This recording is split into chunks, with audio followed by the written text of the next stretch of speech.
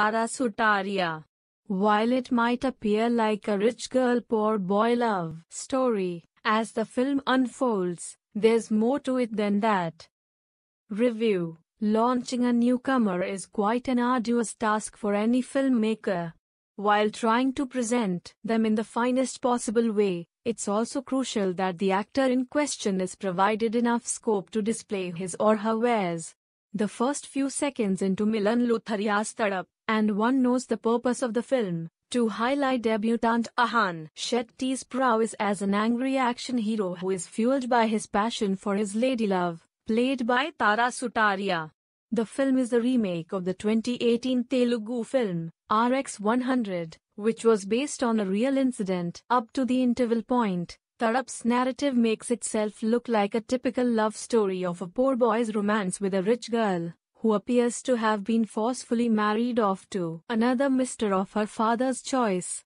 Post intermission, the narrative suddenly has a lot to unpack and it rushes to reveal all that led to lovers' separation.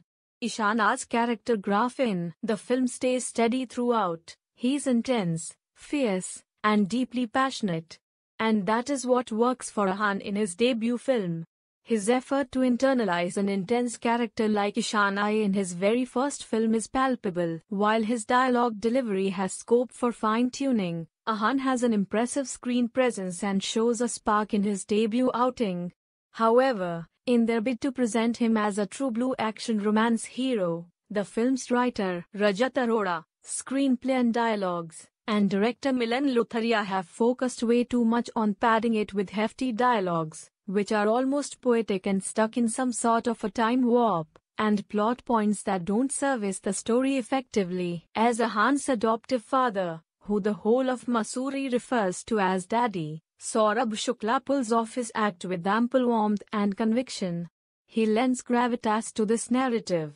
Tara Sutaria as Ishana's love interest Ramisa looks gorgeous in every frame, irrespective of whether she's being playful, romantic, or breaking down. She could have shined more had the screenplay made some more provision for it, apart from a plot twist in the second half. The film falters at the story level, which makes it seem stretched for its runtime. While Tadap feels sluggish pre-interval, it literally wears running shoes in the second half.